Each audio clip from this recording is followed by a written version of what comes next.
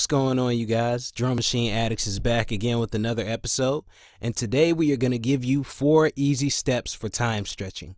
Now, if you're wondering what time stretching is, say if you have a sample that you really like or a drum break that you really like, and in your creative process you're saying, man, you know what, this would sound really good if I could just slow down the BPM or if I could speed it up just a little bit. Well, that's where time stretching comes in. So, without further ado, let me give you these four steps. All right, step one find your sample and loop it. Now, as you can see here, we have a, a, regular drum break that comes with the MPC content loaded up, and I've looped two bars of this sample. So I'm just going to play it.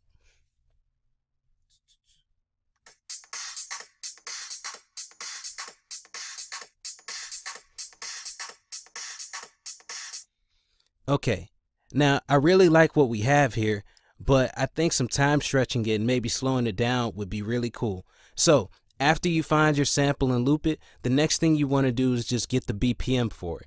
Now, in this case, what you can do is go to the tune button down here and do from BPM. Now, I know that there's eight beats in this measure that I have right here. So the cool thing about the MPC software is if you know how many beats that your um, loop has in it, how many beats per minute it has in it, then it can tell you what the BPM of the track is. So since I know it has eight beats per measure in that, it tells me that the BPM is 128.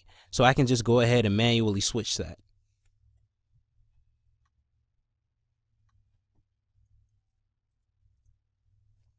All right, and I'm just going to check to make sure.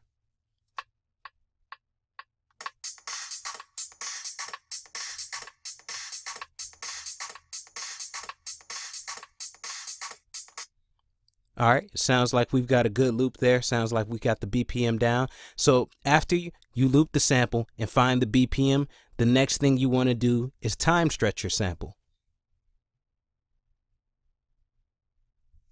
Click on the time stretch button right here.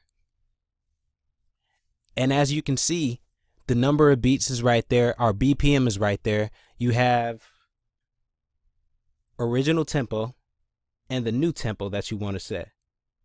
All right. Now, it's at 128, but I think it would really sound good if we slowed it down to 98. So I'm going to do that right now. Now, it's really easy to do. All you have to do is go over to new and pick a tempo that you think has the right groove that you're looking for.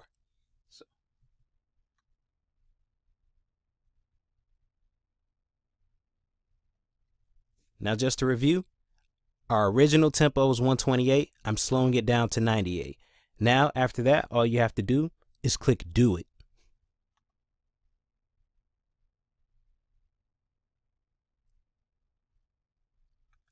All right.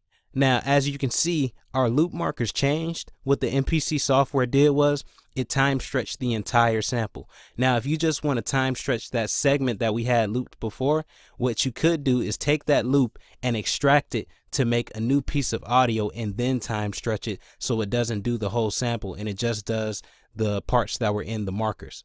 But let's play our new slowed down sample and see how it sounds.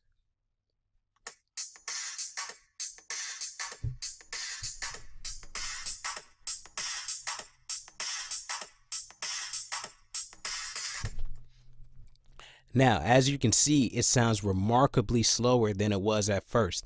So, in a nutshell, it's been time stretched. And that's pretty much the gist of how it works. If you have any questions, feel free to hit us up at drummachineaddicts at gmail.com. Don't forget to follow us on social media. And please don't forget to subscribe so that we can keep giving you guys content. Tell a friend to tell a friend. Once again, it's Drum Machine Addicts, and we are out. See you next Friday. Peace.